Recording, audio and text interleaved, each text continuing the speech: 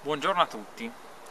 Ho in mano un foglio dove sono stampate un po' di domande che ci arrivano sul sito eh, di motociclisti che hanno dei dubbi, eh, vogliono dei chiarimenti e mm, mi è sembrato opportuno cominciare a dare delle, delle risposte.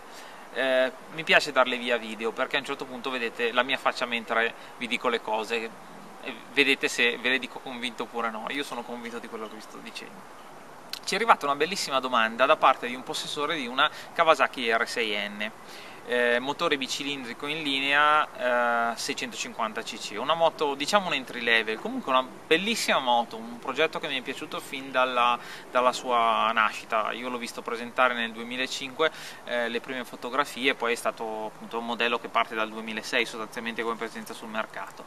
Ehm, la domanda riguarda l'ingresso curva e la percorrenza, che a volte, a seconda delle gomme che monta questo ragazzo, più o meno sportive o altro, che però a volte è un po' incerta. Eh, io motori di questo genere li ho vissuti tanto a partire dall'SV 650 prima serie, la prima serie carburatore del 99 e ho appunto corso anche un trofeo e a volte eh, l'apertura gas era un po' brusca. Allora cosa succede? Che tu entri in curva, finisci la tua staccata, prima di aprire il gas lasci passare troppo tempo.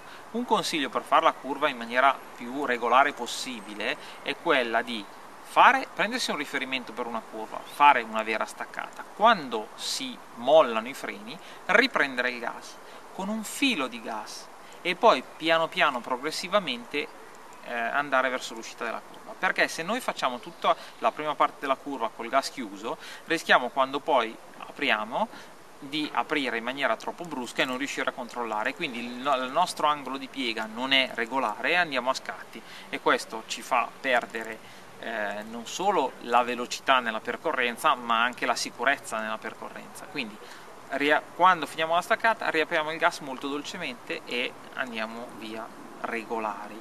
Poi quando ci sentiremo sempre più sicuri potremo essere in grado di aprire il gas di più e quindi essere più veloci. Però questa, questa progressione ci permette eh, un, un ottimo controllo della moto e anche un'usura regolare delle parti.